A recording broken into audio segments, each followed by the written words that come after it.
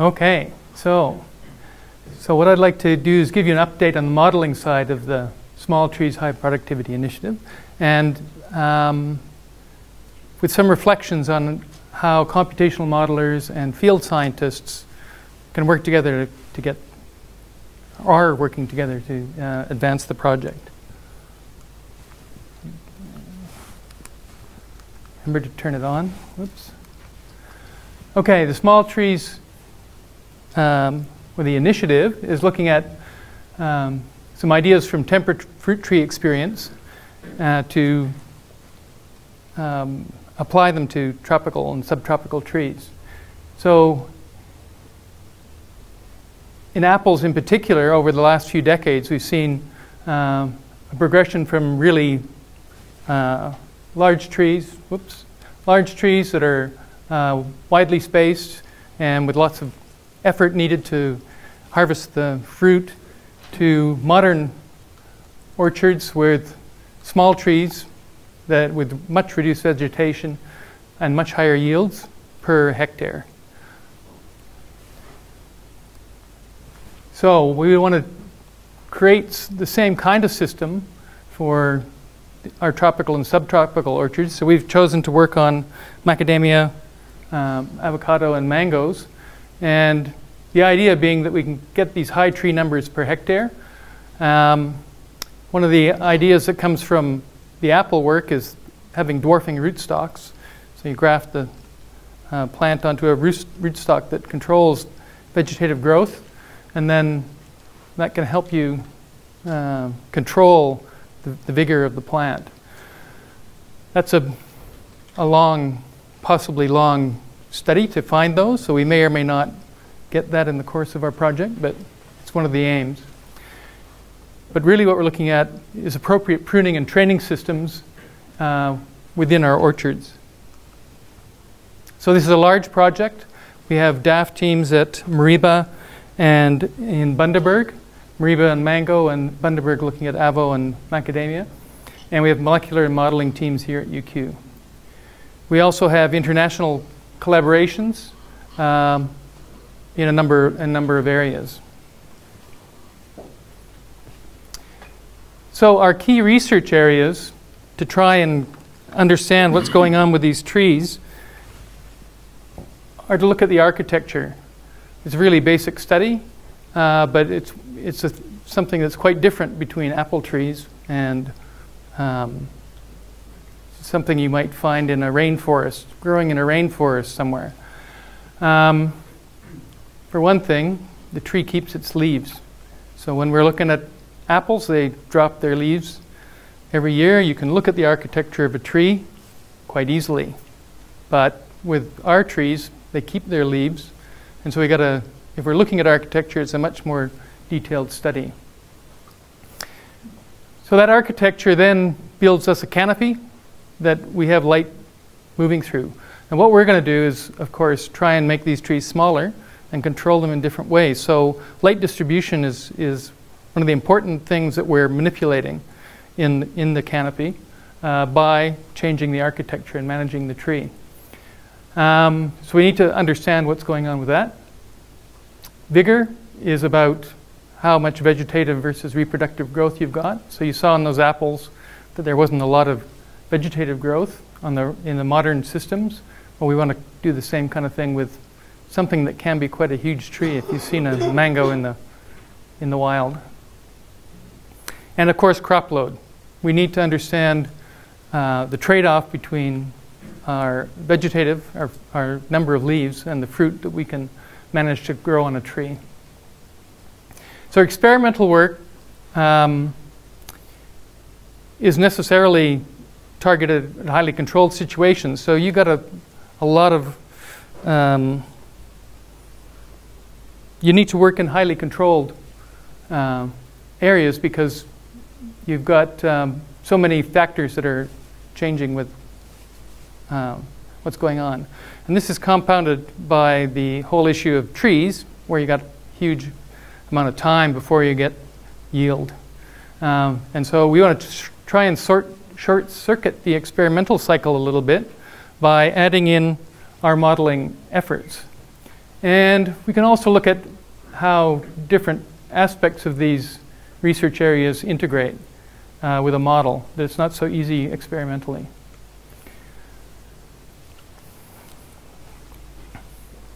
So traditionally, what you might have with the you're having field experiments, you're analyzing the data, you're coming to some conclusions which lead to more hypotheses. Here's a new tree shape we want to try. Let's do some more experiments. Uh, what we're doing is adding in a computer design, uh, modeling design um, component into the mix. Uh, we're looking at the data that comes out of the literature and out of our field experiments and saying, well, what mechanisms actually run? What's going on in the trees? And then we create some models that we believe reflect those mechanisms. And then we can run some computer experiments, um, have a look at the results they show. We can do lots more of these experiments um, than we can do field experiments just because, well, if we have a big enough computer, we can. Um, and we can try many different things and therefore focus the next set of field experiments. So let's have a look at a, a simple starting point from um, the modeling that, that we're doing. So this is some work that's been done by Anahita Mouzani up in um, Mareeba. Uh, she's been working on mangoes, and this was some of the first work she did, looking at how flesh, flushes grow. Well, if we're, why is this important? If you want to know about what's going on in a canopy, we got to know where the new leaves go and how, how big they are, what those leaves shade, and how much uh, photosynthate they're getting. So it's a sort of basic component of the canopy that we want to get a hold on. So you can see here she's got a sequence of images of a flush growing out. Um, once uh, a at the right season of the year, we get uh, a bud growing and it in initiates uh, a number of new primordia of the leaves uh, and in a swelling blood, bud. And then it's triggered to elongate and you can see that all the leaves are coming out pretty much at the same time. We have basal leaves that grow quite large and uh, the tip leaves that don't quite uh, fill out the same way. So what, this is the hard part of any kind of uh, architectural work. You got to measure these things and see how much they grow over a time course. So she's measured these, uh, a number of these. This is just the, the graph is just a single flush.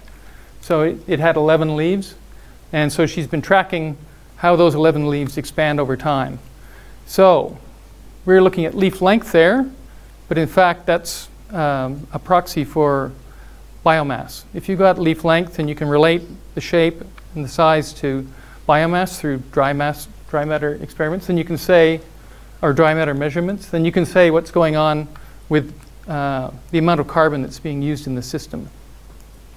So that's uh, an important point. The other one is that you notice that the x-axis is in degree days. It's not in days, although, of course, she's measuring every second day or every third day, whatever she's chosen.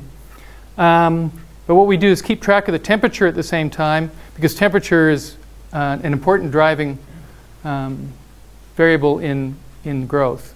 So if you plot this by day, if you've got a bunch of cold days, you might get a, a you know, not very much growth. Uh, and then a few hot days, suddenly elevated growth, and you get a very staircase kind of um, graph there. So what we do is use degree days to even that out because the growth is proportional to the amount of heat that you get. Um,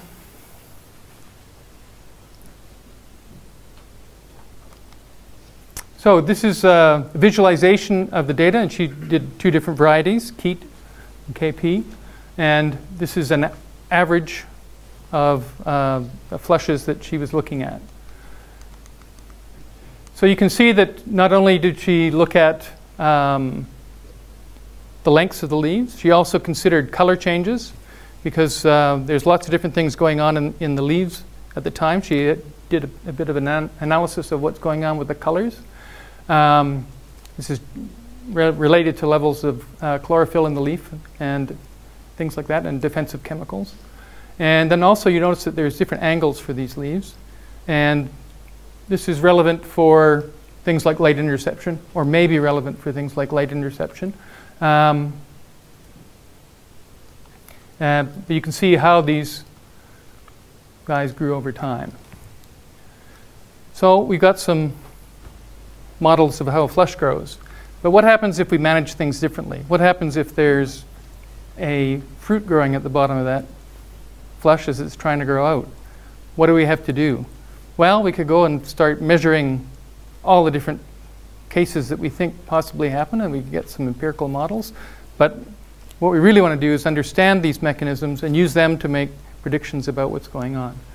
So, talking to our field scientists and reading the literature, um, emphasize the, the uh, importance of carbon allocation. Uh, for different questions, we need to model these things at different scales.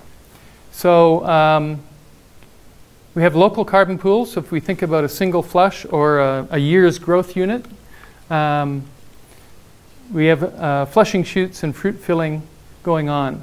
And we need to understand how they interact to uh, decide on what the ideal uh, architectures for our high density orchards are. Uh, models at a canopy scale, we use to think, address issues around um, light interception, light distribution in a canopy. So we can, um, it's a, a, simpler type of model to get at that, to get to that scale. And the final one there is carbon transport resistance model at the internode and leaf scale, which is a quite detailed model. And there we're using it to address issues around which fruit is going to get dropped or which leaf gets dropped. And this is a big issue with what's going on in a tree. Um, the things that aren't there are probably as important as the things that are. So you need to know when they uh, leave the tree. So we thought, well, let's start at the beginning and make some models. So Inigo uh, Auzmendi um, worked on this uh, model of final leaf length. It's a very uh, stick-like model, as you can see. He's um, using a length 2D type representation of the leaf size, very simple, um, and just looking at how the radiation levels uh, temperature, as we discussed with degree days before, and then carbon allocation based on um, potential growth rates. So at a, at a certain age, then each individual leaf will have its own potential growth rate, and, it, and therefore its demand for carbon. And then the total leaf area at that time will de define the, the, amount of photosynthate, and you'll get um, an allocation proportional to uh, what you've asked for if, if there's not enough for everybody. So you can see the leaves at the bottom. Uh, we had a couple of ex existing leaves in there, but the first leaves are smaller because there's not a lot of carbon in the system yet. As they're trying to expand, there's nothing there for the, to get them going. Um, and then everybody reaches their potential size. And so here, um, Inigo's looked at model with, with um, different light exposures and said, oh, okay, well, we're getting reasonable kinds of action out of this model. Well, then along came John. So he's the other side of our, most of our um, modeler field scientist interface. Uh, he's the lead member in DAF for the project. And uh, he looked at our model and he, and he, thought, well, he didn't say to us right away. I only found this out later. He said, all this work and all we got is some sticks. What good is that? Well, we started talking to him. Well, you know, when, once we've got this competition working in the stick, we can get it working in sticks that are competing. We can have um, a number of things going at the same time. so we got playing around with this kind of model. So here we've got three shoots. We got a nice emergent property. Um, more shoots, more total biomass because we got more leaves that are actually put on by the, more shoots, but shorter individual shoots because of that initial uh, growth uh, restriction. Well, we've started playing around with this a little bit. So, well, what happens if things happen at different times? We tried starting branches at uh, different times, and we get some interesting results that if we start one later than the others, then it doesn't compete as well. So John thought, well, this doesn't seem to fit with the way he was thinking. So he said, I'm going to do an experiment. So he, um, we've got this um, assumptions of our model that each growing plant part demands energy every day based on its maximum potential growth rate. If there's not sufficient energy, they're limited, on, but in proportion to their demand. And then this ability to compete is affected by the number of plant parts growing and the timing of growth relative to other plant parts.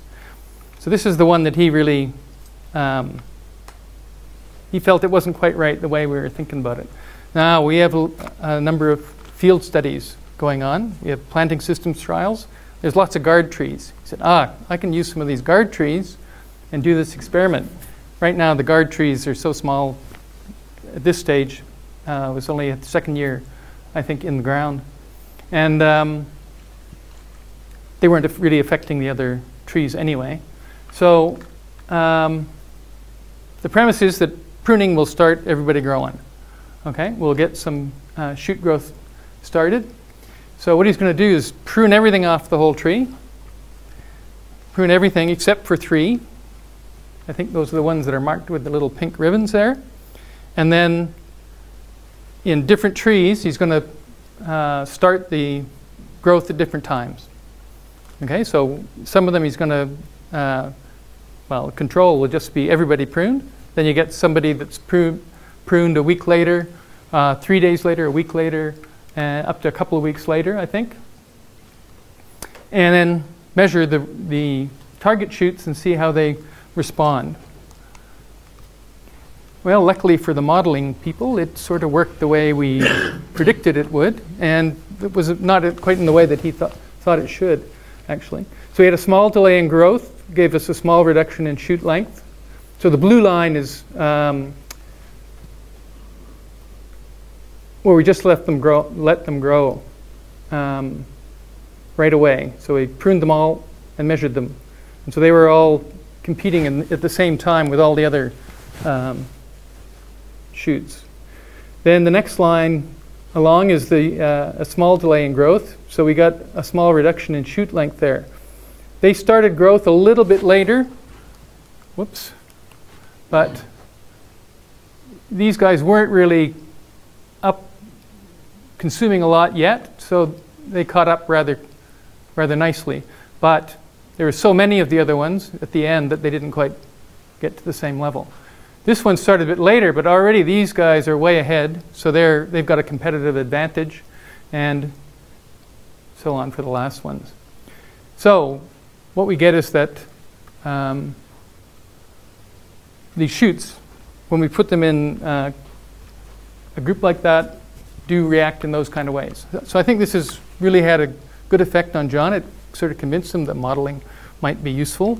It uh, let him reflect on the way th the trees were growing and then come up with an experiment to see what's going on.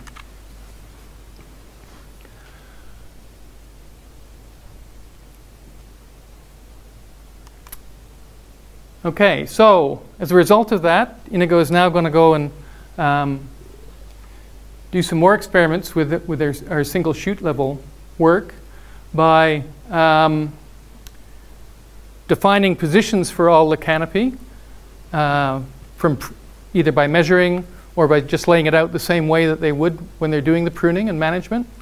So what we got is a, a structure underneath that has the um, positions where the new shoots are going to grow, and then we can examine that particular uh, year's or flush's growth and see how they compete with each other.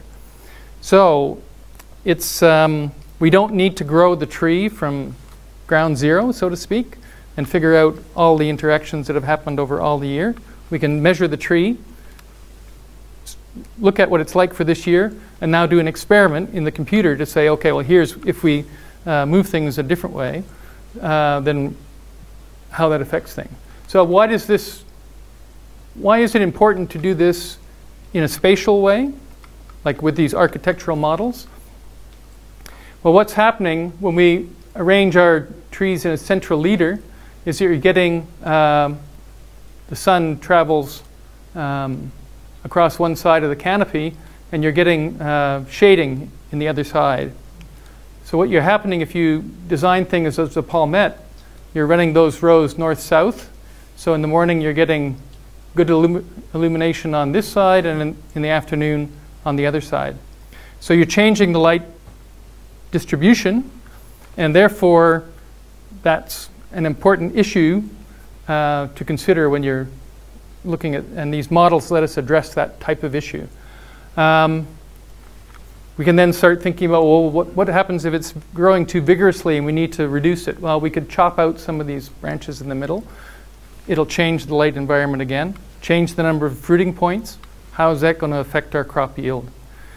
Um, there's all sorts of issues around uh, light that are important. So things like uh, blush in mangoes, how much light do they get so that the, the fruit is of good saleable quality and things like that. So those are all issues that we can address with this um, fairly detailed architectural style of model. Okay, so in the meantime, we've been doing some work on our other systems. So Ming Wang was one of our PhD students.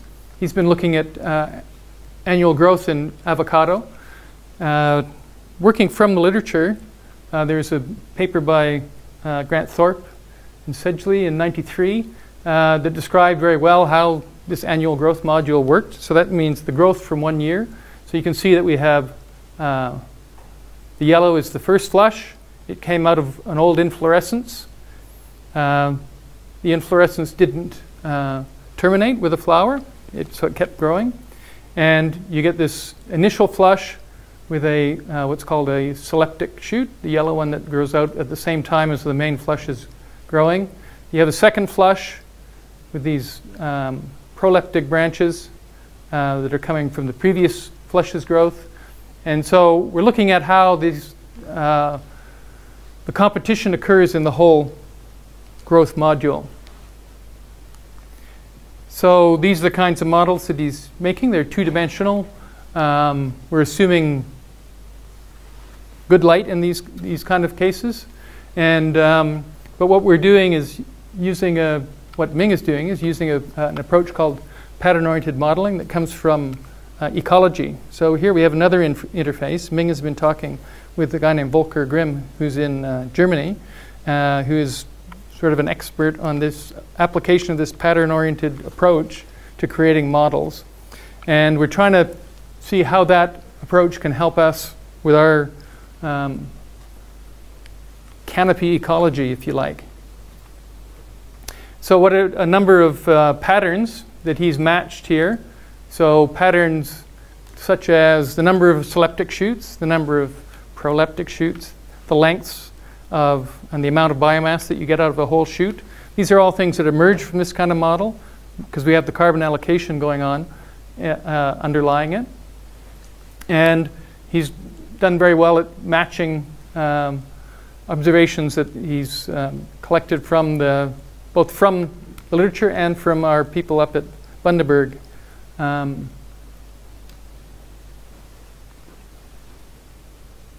um, collecting uh, data on the architectural aspects of things. Okay, Neil White is, uh, has been working on um, the light models. He's been using a self-organizing model. It takes a very simple light model based on shading rather than actually calculating all the light. And um, we get an accumulation of carbon flux uh, redistributed through the tree as growth flux and enough reaches a terminal, it grows out into the nearest open space. So this kind of model lets him create these kind of models of uh, canopies. And then we can look at light distributions. So these are actually models of the physics of light as it appears from a, from a daily uh, sky model. And um, so you can look at how different uh, management systems like pruning affects the light distribution at the floor of the canopy. These are macadamias, so they're uh, quite interested in not having too much going on underneath because um, that's how they collect, uh, harvest their things from, from the ground. Um, okay, this work has now proceeded. He's, he's working on uh, avocado uh, canopies with this light modeling now. Uh, some work I've been doing with um, uh, one of our international collaborators, Alice Seleznyova, um, uh, is at the much more detailed level. And this is proof of principle kind of work at this point. Um, what we want to know is that the, the higher level models, that the abstract models that we're using are actually reasonable if you try and compare them against uh, a more detailed model uh, in, in the uh, phloem and xylem. So this is work uh, consistent with the Munch hypothesis, which is um, talking about uh, mass flow of, of um, carbon. And it's based on some work Hall and Minchin in 2013, and we've modified that to fit into the computational models. Um, so here we're looking at uh, flow rates um, based on uh, resistances, which are not possible to measure, so they have to be estimated, in uh, stems from sources to sinks, and uh, considering what the water situation is and how uh, transfer of water across the semi-permeable permeable membrane between xylem and phloem uh, affects things. Um, so this gives us uh, compartmental models that um, let us estimate um, concentrations of sugar right now in just little sticks. So John's going to be asking, well, what does this mean? Uh, well, we're going to build this up with more complex structures and look at uh, how flow is affected between um, fruits and leaves on a local level. So this has got a lot to do with what's going on with uh, dropping of fruit and who gets the upper hand in um, in growth, and so therefore affects yield. So we want to know that what we're doing at the local level um, and making more abstract models of at the higher scale are working correctly. So for future work, uh, we want to take these bunch of sticks, put them together, make some canopies out of them, um, investigate management effects, things like tying down, pruning, at a canopy scale incorporating the crop load aspects. So measurements are going on um, up at Mareeba and uh, Bundaberg, looking at those kind of things, and we hope to look at uh, particularly get fruit into the scene. We haven't had done a lot with fruit yet. Um, for some of these models, we're going to need a bit more compute power. Luckily, the university here has good high performance computing um, facilities, and we're going to get we've got Liqi Han on board to help us with um, developing those approaches for orchard scale models.